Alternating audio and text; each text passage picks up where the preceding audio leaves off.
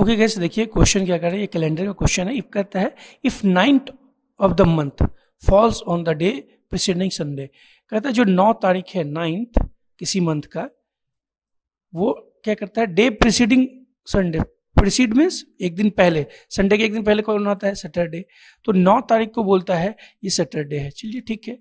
फिर आगे कहते हैं ऑन वाट डे किस दिन को first of the month fall एक जो तारीख होगा फ़र्स्ट जो तारीख होगा, वो कौन से दिन का होगा, यही आपसे पूछ रहा है। तो एक चीज़ देखो, नौ तारीख अगर सैटरडे है तो अगर आप इसमें सेवन डेज़ एड करते हो तो ये सिक्सटीन भी जो होगा, वो कौन होगा? सेम डे होगा सैटरडे होगा, क्योंकि हर सेवन डे पे चेंज होता है। और उसी तरह अगर सात दिन पहले का देखोगे नौ तारीख से, ठीक है माइनस सेवन करके तो ये दो सेकेंड होगा। ये सेकेंड भी क्या होगा? सैटरडे ही होगा, ठीक है? ठीक है? तो अगर दो सैटरडे है तो नौ भी सैटरडे होगा प्लस सेवन डे फिर प्लस सेवन करो तो सिक्सटीन होगा, फिर प्लस सेवन करो, ठीक है तो ट्वेंटी थ्री वो भी सैटरडे होगा। इट मीन्स हर सेवन डे पे सेम डे रिपीट करेगा। तो दो तारीख को सैटरडे होगा। आपसे कौन सा पूछ रहा है? वो फ़र्स्ट के बारे में पूछ रहा है, ठीक है? कि फ़र्स्ट क्या होगा? तो एक दिन सैटरडे से पहले क्या आता है? फ़र्स्ट को फ्राइडे हो जाएगा, एक तारीख को फ्राइडे होगा, तभी तो दो को सैटरडे होगा।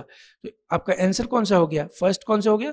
फ्राइडे। तो आपका आंसर हो गया फ्राइडे, ठीक है? हर, इतना याद रखना है, ये कॉन्सेप्ट को समझना है कि हर सेवन डेज़ के बाद जो आपका डे होता है, वो सेम रिपीट करता है। अगर एक तारीख को संडे है तो आठ को भी संडे होगा, फिर फिफ्टीन को संडे होगा, ऐसे होता है, ठीक है? तो ये चीज़ आप अपने माइंड में रखना। तो आपका आंसर कौन सा हो गया इसमें?